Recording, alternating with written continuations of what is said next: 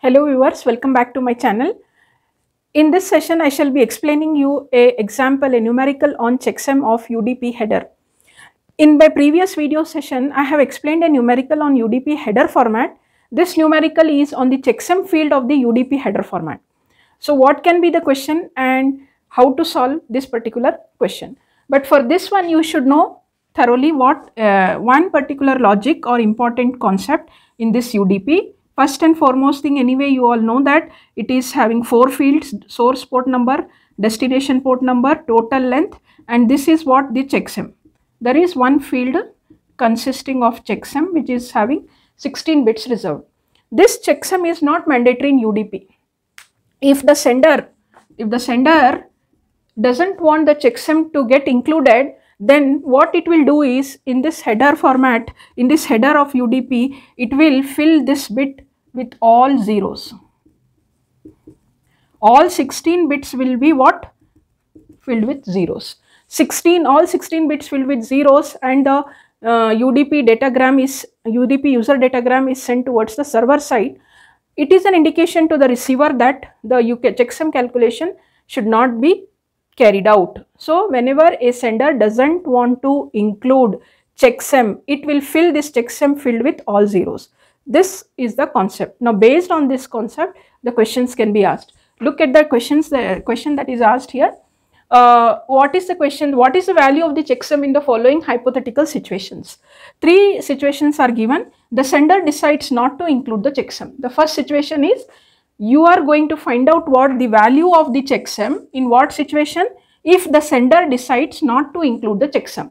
The first situation is very straightforward. Whatever is the concept, if the sender doesn't want to include the checksum, it is going to fill all the field value, all the values, all the bits in that field as zeros. So here you can write down the value of the checksum is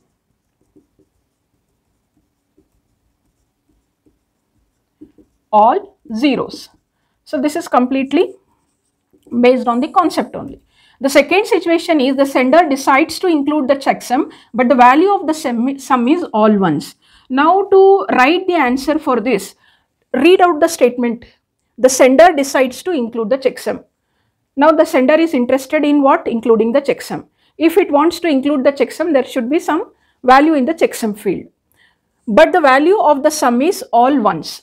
What? No. First uh, you have to remember that sum you will get certain value fine when you add up the uh, fields of all the uh, header pseudo header and the data you are getting some value the complement of sum is checksum checksum is what this complement of the value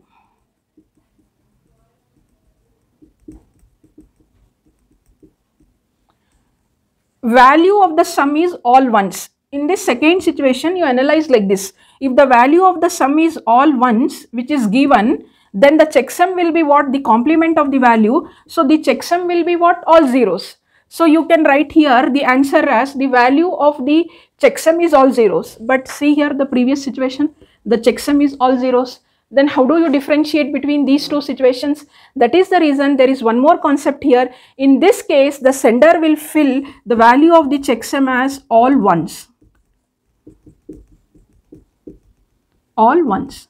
Actually, in the second situation, the value, the answer is what? The checksum field will have all ones. So, you should know the reason why the value of the checksum is all ones because it has resulted in zeros the value of the sum and the complement of the, the value of the sum is ones the complement of the sum is checksum which is resulting in zeros. But you have a situation wherein if the sender doesn't want to calculate the checksum it is sending all zeros. But here it wants to calculate the checksum but still if it is getting zeros so what it will do is it will complement again this one. So we say double complement.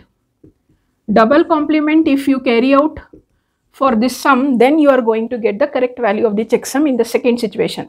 The third situation is the sender decides to include the checksum but the value of the sum is all ones all sorry all zeros. In this case sum is what the value sum is always value which is all zeros.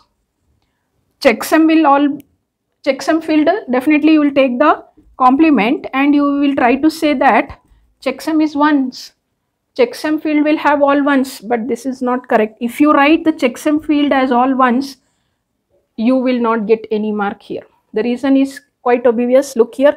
Value of the sum is all zeros.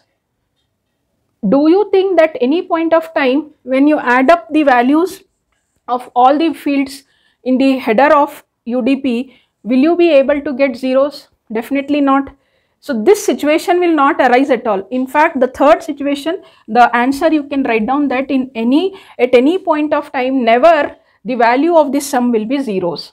Definitely there will be some values in one or the other field. Take for example pseudo header only without destination port address, without source port address, you are not going to send any, uh, this one, you are not going to calculate the checksum. So those fields are having non-zeros values. So never you will get the sum of all the values as zeros. So the third situation will not, you can write down this situation, what will be the answer for this? Thus this situation will not arise.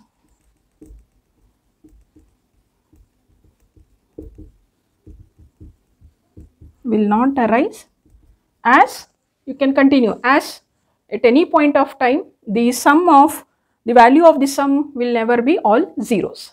So this way you have to analyze a numerical on this kind of question that is on the checksum. Hope it is useful to you all. Thank you. Bye bye. Take care. So this way you are going to analyze the problem and try to write the solution. Hope the explanation is useful to you all. Thank you. Bye bye. Take care.